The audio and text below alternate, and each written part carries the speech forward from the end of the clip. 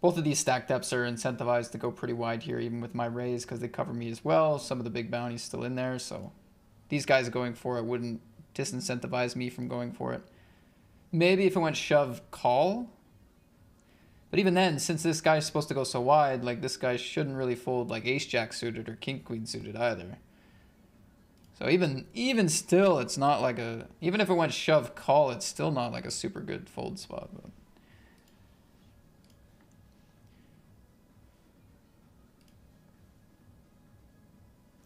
All right, let's see what happens. Pocket pair, ace jack.